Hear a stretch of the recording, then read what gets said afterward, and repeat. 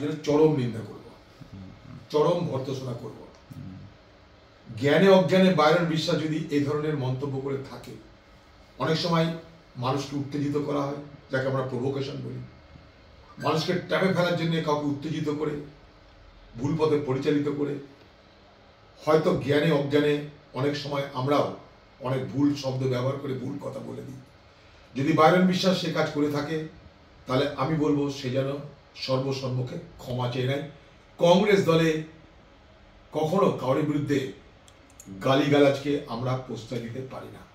এটা বাইরন বিশ্বাসের বিধায়ক পদে শপথ গ্রহণ এত বিলম্বে হলো কেন? এটা কিন্তু আমাদের সকলের কাছে অত্যন্ত দুর্ভাগ্যের দু তারিখে সে নির্বাচিত হয়েছে, নির্বাচন কমিশনের সার্টিফিকেট পেয়েছে। আর শপথ হচ্ছে আর বাইশ তারিখে। এতদিন ধরে স্পিকারের দপ্তরে বারবার করে আমরা জানার চেষ্টা করেছি। স্পিকার সাহেব তো নিজে বলেই দিলেন যে বাইরন বিশ্বাস নাকি তৃণমূল করতে চেয়েছে বা তৃণমূল করে।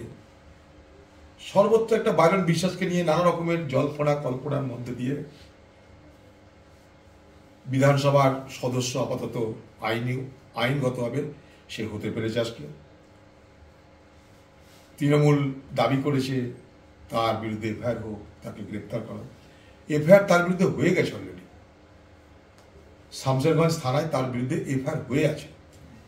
যদি গ্রেপ্তার করবে মনে করে করতে পারে পুলিশ তার বিরুদ্ধে এফআইআর কিন্তু হয়ে আছে।